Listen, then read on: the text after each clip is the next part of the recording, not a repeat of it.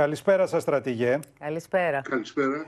Ε, Καλησπέρα, κύριε Έχουμε μπει στην 23η ημέρα των πολεμικών επιχειρήσεων και διερωτόμαστε εάν διατρέχουν οι Ρώσοι το κίνδυνο να εμπλακούν σε μια ιστορία ανάλογη με εκείνη του Αφγανιστάν, δηλαδή σε ε, μια μακρά πολεμική επιχείρηση με απώλειες όπως βλέπουμε μέχρι τώρα και χωρίς την επίτευξη του αρχικού του στόχου. Ποια είναι η γνώμη σας; Καταρχήν δεν ξέρουμε τις χρονικές επιδιώξεις που έχουν θέσει στα επιχειρησιακά του σχέδια.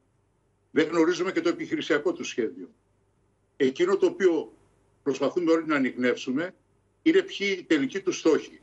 Μας τις έχουν πει λέγοντας τις θέσεις τους για τις διαπραγματεύσεις. Θέλουν αποστρατηγικοποίηση της Ουκρανίας, θέλουν διετεροποίηση και να δεσμευτεί ότι θα είναι ένα ουδέτερο κράτος που δεν θα έχει καμία σχέση με το ΝΑΤΟ. Από την άλλη πλευρά θεωρούν ότι η de facto πρόσθεση της Κρυμαίας για αυτούς πρέπει να νομοποιηθεί και να αναγνωριστεί από τους Ουκρανούς.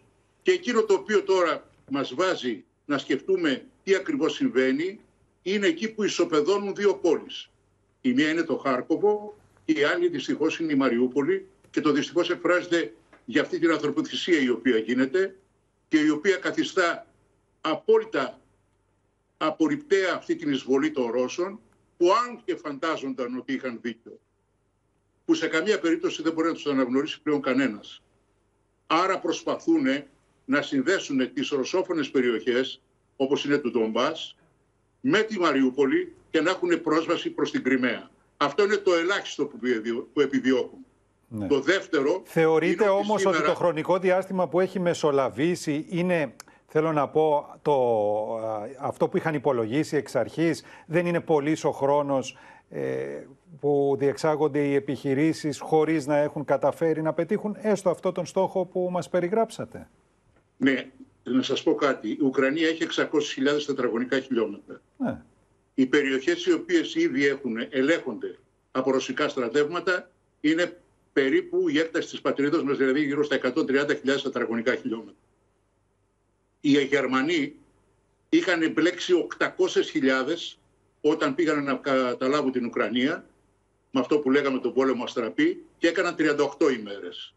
Όταν λοιπόν αναλογιστούμε του τι ακριβώς έχουν πετύχει και πώς θέλουν να συμπεριφερθούν, διότι υποτίθεται ότι προστατεύουν τους άμαχους, το λέω πάντα εντός εισαγωγικών αυτό για να μην παρεξηγηθώ, και δεν προσβάλλουν κατά καταγιστικό τρόπο τα υπόλοιπα αστικά κέντρα. Εκείνο το οποίο θα πρέπει να μας απασχολήσει τώρα είναι τι επίκειται από εδώ και πέρα και πώς θα οδηγήσουν σε μία, θα έλεγα και για τους δύο, αξιοπρεπή ήττα ή νίκη. Κατά τη γνώμη μου δεν είναι κανένας ε, κατα... αυτό Να σας ρωτήσω, στρατηγέ, εδώ, εδώ ολοκληρώνεται ο, ο στόχος του Πούτιν, δηλαδή κατέλαβε αυτά τα εδάφη και εδώ κλείνει; Για... Ναι, αυτό ήθελα να σας πω. Γιατί μας μιλάτε για λύση, για εκτόνωση. Μήπως έχει Μιλάω και άλλους στόχους; Όχι.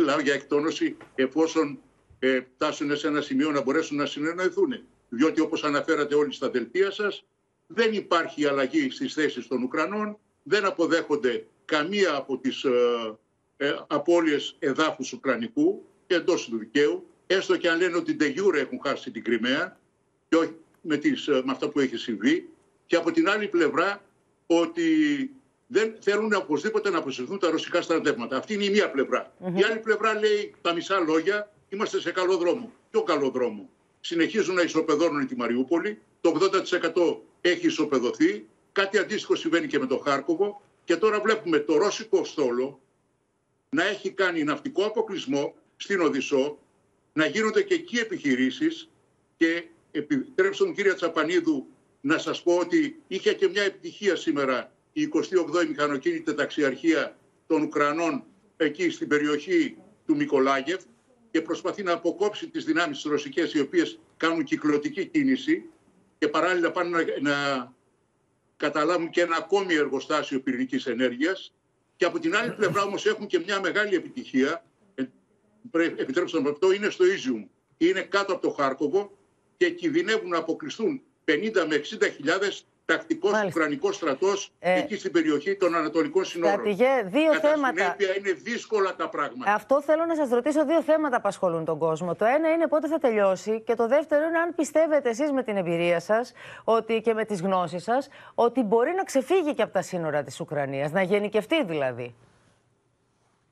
Είναι κάτι που απευχόμαστε όλοι. Φυσικά. Και είναι σαφέστατο ότι οι θέσεις που έχει πάρει και ο κύριος Μπάιντεν, ο πρόεδρος των ΗΠΑ, αλλά και οι υπόλοιποι στο ΝΑΤΟ και στην Ευρωπαϊκή Ένωση, δεν θέλουν καμία ανάμειξη με στρατεύματα.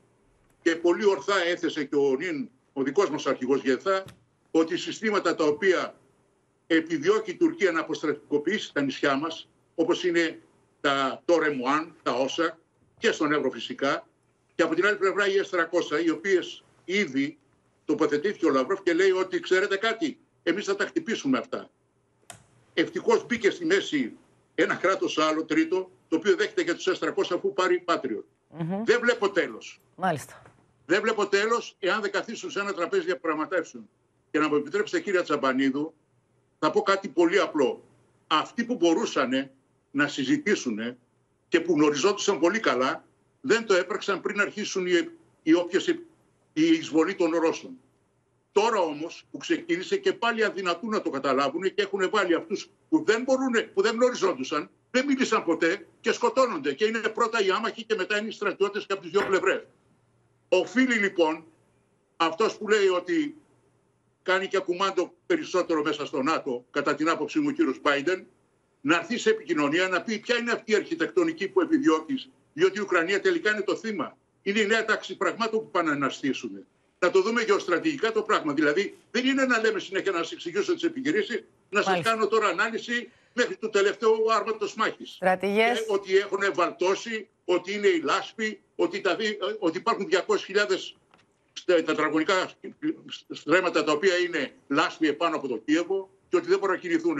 Και ότι ο πόλεμος γίνεται επί των οδών Μάλιστα. και των διατό οδούς. Και ότι έχουν προβλήματα επιμελητίας, όπως λέγεται μέσα σε εσάς, ή για μας διοικητική μέρημνα. Ναι, αυτά υπάρχουν. Ναι, εκείνο που είναι πολύ σημαντικό είναι να εξάρουμε το πνεύμα αντίστασης των Ουκρανών για ελευθερία και δημοκρατία. Και να Είστε πούμε για μια κατανοητός. ακόμη φορά. Όχι, δεν είμαι κατανοητός. Θέλω να σας πω ότι όταν γίνεσαι καθεστώς, όπως είναι ο Ερντογάν και ο Πούτιν εδώ και 20 τόσα χρόνια μέσα στις πόλεις τους και στις, ε, συγγνώμη, στα κράτη τους, είναι άκρος επικίνδυνοι. Και ο αναθεωρητισμός τους είναι που απασχολεί και εμάς ως Ελλάδα και πατρίδα. Σας Και δεν μπορούμε ευχαριστούμε να πολύ, εφησυχάσουμε στρατηγέ. με την Τουρκία. Σας ευχαριστούμε Εγώ πολύ σας για αυτή τη ευχαριστώ. συζήτηση. Να είστε καλά, θα τα ξαναπούμε στις επόμενες Να είστε καλά. μέρες. Σας ευχαριστώ και εγώ.